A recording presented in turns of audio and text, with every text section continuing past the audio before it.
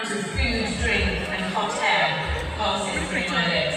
I'm amazed that this stuff stays put. What goes into lipstick to make it, well, stick? 24 miles from the Jelly Bean factory in Dublin is cosmetics company Oriflame.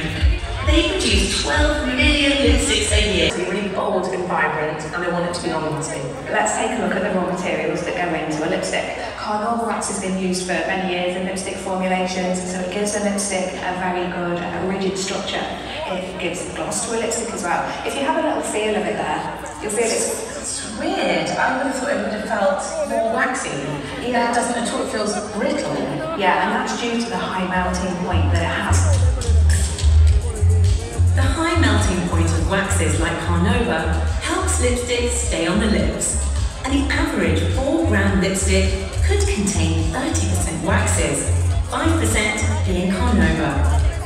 Could you have a lipstick just made of wax? No, because it's just not going to feel nice on the skin because the melting So what we need to add into the waxes then is what we call emollient oils.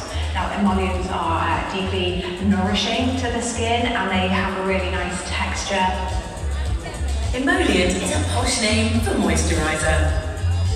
Castor oil is a very traditional emollient that we use. Where does castor oil come from? It comes from a castor oil seed, so it's got that lovely, rich, creamy Yeah. feel, that texture.